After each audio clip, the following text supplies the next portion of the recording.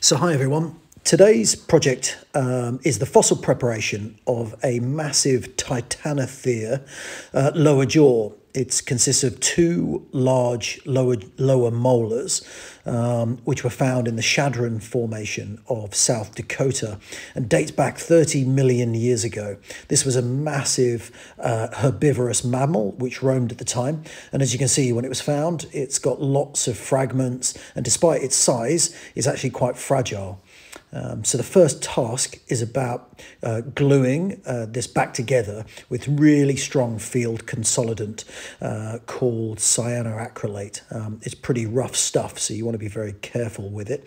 Um, but once that's all glued back together and made really solid, pneumatic air tools can then be used uh, to really clean off the excess matrix, all that rock that surrounds the fossils. So for this, I'm using a combination of tools for the bulk matrix, getting away all the large stuff, all the large rock around it.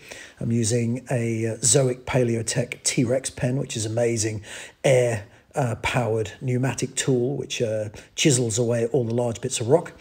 And then the thinner tool is something called a Microraptor, a paleo, uh, sorry, a Zoic Palaeotech Microraptor. It's a type of tool which really gets into the uh, into the finer details. So all of the matrix can be removed easily around the teeth um, and around the bone, which is now much more solid because it's been uh, been glued together uh, much more rigidly.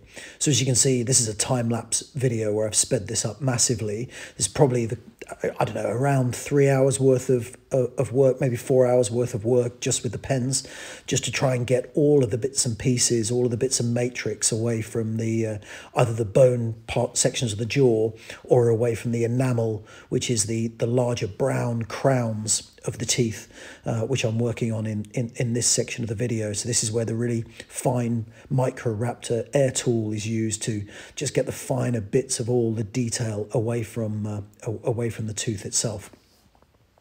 Um, once all of the finer matrix is uh, is done, I use a micro sandblaster to then, uh, it, this is filled with a, a, a powder called dolomite, uh, which then really uh, takes all the finer details of the matrix away from uh, away from the teeth.